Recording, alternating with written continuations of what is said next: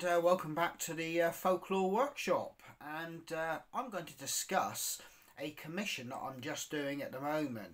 Now, this commission involves somebody's pet dog. They wanted a representation or a likeness to a pet dog that they have.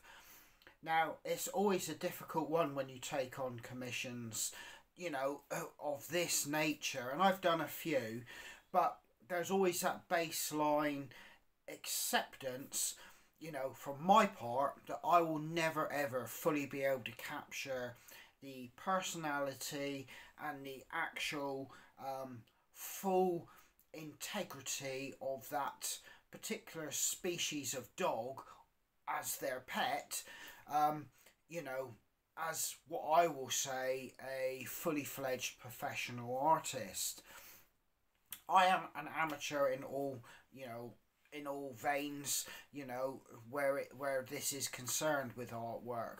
So ultimately, honesty is the best policy, and I always say I'll give my very best effort to provide a reasonable representation to that species of dog and indeed their pet. So yeah, I'll let you have a quick little look and uh, we'll have a little chat from there. So on the workshop floor there, you can see I've got loads of masking tape that's got sprayed different colours. And that is from the uh, candy cane model and also the trail camo model. Now, I've incorporated that uh, request for a pet dog in the trail camo model and um, I don't think it's come out too bad.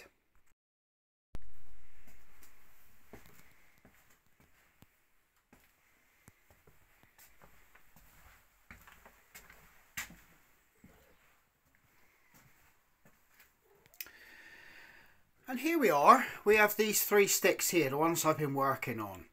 Obviously the pink and purple one is the candy cane model and it's got the uh, traditional swirls.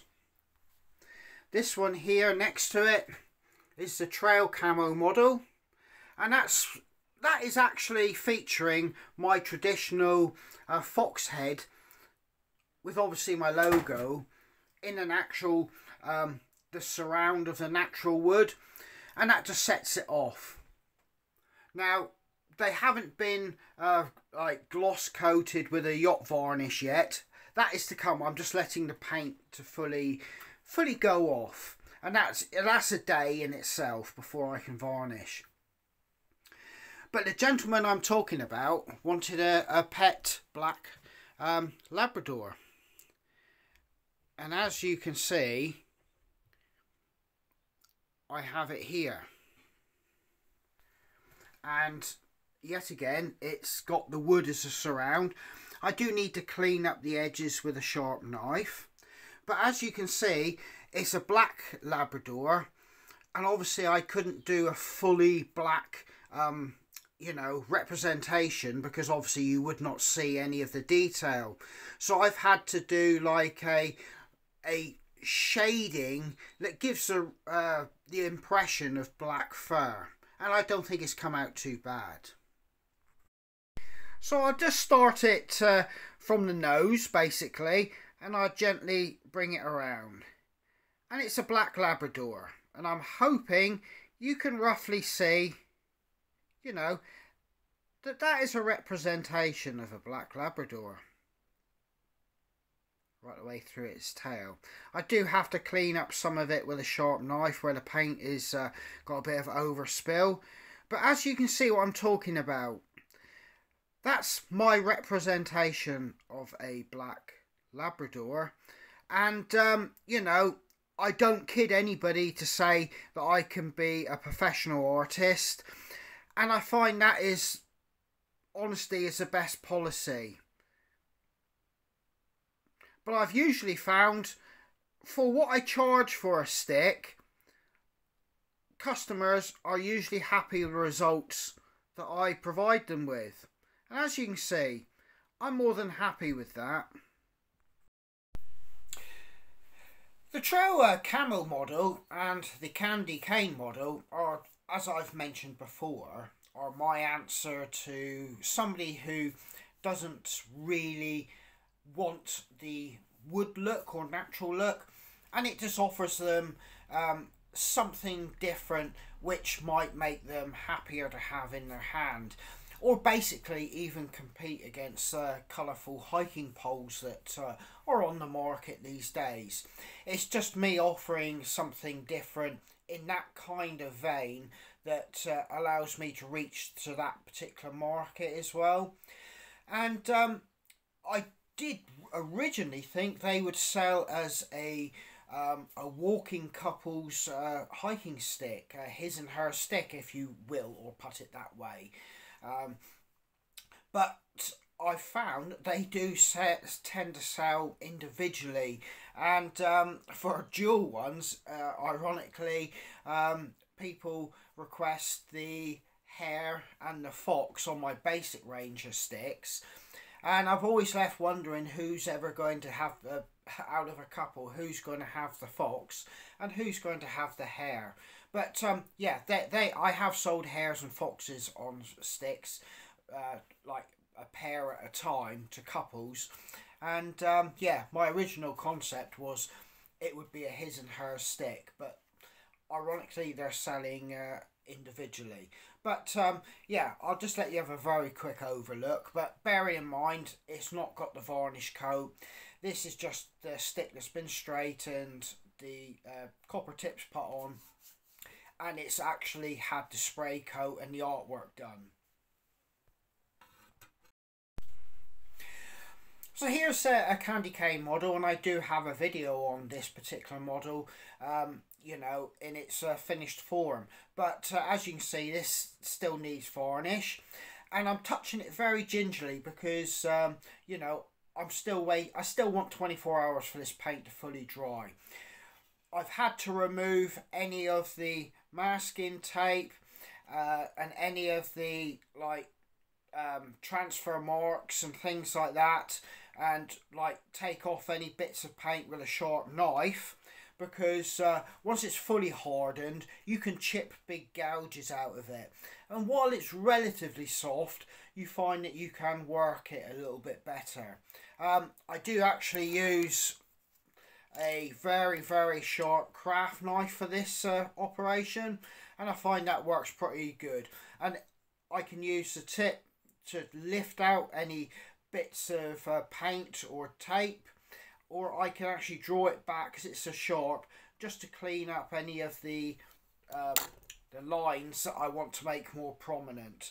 But um, yeah as you can see I've got some nice designs there on this one and the traditional butterflies which um, just seems to work with it. And I have those rolling down the whole shaft through the candy cane uh, twirl right the way down to the bottom but yeah um, you know this is quite a good seller and it's it's it's eye catching and believe it or not uh, uh, women who you know have these are more than happy to stay well to state that uh, you know they do get asked quite a lot of questions about it. And um, you know which is always uh, flattering on my part anyway. But as you can see it, it's it's it really does look striking and particularly when there's varnish on it you know it's a good talking point right then this is the uh, trail camo, and obviously, you know, the name does what it says on the tin basically. It's in the kind of field camouflage colour, and you know, I think that's quite apt for being out in the woods, the forests, on the trails, and you know, it just works. Um, it's not too heavy, there are parts of it you can just about see, you know, a little bit of wood grain on it. Yet again, I've got a fox head there and I've got to clean that surround up. But it sets off the fox head and the reason I use the fox on the, the trail camo model is because it's uh, you know stealthy in the shadows you know it's hiding and it's got a little bit of uh, an aggressive nature. And hence you know camo and that represents camo pretty much like you know what the purpose of camo is. So it all just comes together and it and, and it and it's a nice stick overall.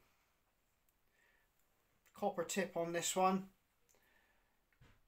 and yet again once it's varnished all these colors will become extremely vibrant as well. It, it's it's the the it's taken me quite a while had to experiment with different brands of uh, uh, paints you know to get what I would call a slightly electric um, sheen to the paint itself before I put the varnish on so you know you know it wasn't without a lot of trial and error just to get to this point and a fair bit of money to be honest because uh, spray paints aren't cheap these days. But um, I, I, it was worth investing the time and money because, as you can see, the results have paid off. And uh, yeah, once I add the varnish to this, it goes whop, and this will stand out a mile. And um, you know, it's really striking. And yet again, another good talking point. But um, yeah, I, I hope that you see that this is, you know, a really, really nice hiking stick here. And finally, the, the gentleman's uh, stick. And basically, um, he did originally request it in the candy cane models, but without the swirl. Um, he hadn't seen or, or, or knew that I offered it in a camo uh, colour as well. So uh, as soon as I mentioned that, he stated he would take take me up on that. And uh, this one here doesn't have a copper tip, it's going to have a rubber one and um, I can only suspect that he's requested a rubber one because he'll probably be using it, uh, you know, in a more urban setting, and um, you know, you know, obviously a copper tip wouldn't do your uh, carpets or flooring or anything like that any good, and yeah, obviously you don't want to be using, you know, a copper tip in a in a indoor situation because it will really rip up your flooring, carpet, and damage an interior. Um, it is simply an outdoors hiking stick tip, that is the copper one. So, yeah, a rubber one's going on this one. but yet again, if I let you have a quick look, and uh, I think it, it, it kind of captures, you know, a Black Labrador's kind of vibe. I will actually, once I've got the varnish on, my method is basically get the stick to that point. And before, you know, I send off to the customer, I always take photographs and uh, I send them through Messenger or any other means so that customer can fully confirm if uh, they're happy with it. And uh, obviously, if not, like say, it gives me the opportunity to either correct uh, anything that they want or start again. I mean, this wouldn't be a waste for myself because it's not personalised. Somebody would buy uh, this one with that black Labrador. So, um, yeah, I shall get this one fully varnished and then send photographs to the customer to confirm that happy before I send off to them. But yet again, you know, it will be a stunning stick and those colours are really vibrant and electric and like I said I'm glad I invested the time to actually get the right uh, the right colours and the right manufacturer to produce this effect on a hiking stick but yeah I'm really pleased with that actually because um, if you look you can actually see that it, it's meant to be of a dark or blackish nature. It's just got that undertone without making it just basically a big black blob on the wood, uh, which it would be if you tried to do complete shading or colouring in. But it's just enough there to make it look like it, it's it's you know meant to be um, a black Labrador. Well, um, you've seen uh, what I've been doing today with those uh, hiking sticks, and I uh, hope you kind of uh, enjoyed uh, seeing a little bit of what I've got up to there. I've always, uh, you know, always said honesty is the best policy, and I always encourage people, you know, to have a look at my Facebook page so that they can see the work that I do in the particular style and how I get an end result and what my end result will more than likely look. And uh, bearing in mind, once that has happened, most customers, you know, will proceed and they're always uh, happy with the end result. I always have a blueprint or a picture or something I work from, and then I get to put that with my own style onto the hiking stick. And, um, you know, and it always seems to work out okay. And I, I feel that, you know, I offer a very, you know, good representation in my particular style. Now, um, you know, like I said, but you do have to be honest and give the customer exactly, you know, a clear indication of what your level is and what you're going to produce. Right, uh, after saying that, I'll just talk about the bushwhacking model. And for, um, you know, I, I'm trying to get one of those builds on camera. But um, if you're in any doubt of the difference in the actual stick itself, uh, the bushwhacking one, the copper tip is this size. My standard selling generic stick at just over an inch and a half is this. You can see the difference there. Now, bushwhacking one predominantly is for breaking open trails. Hence that heavy gauge and diameter of copper. So yeah, all that's left to be said now is uh, take care and I hope to catch you guys out on the trail. Right, cheers.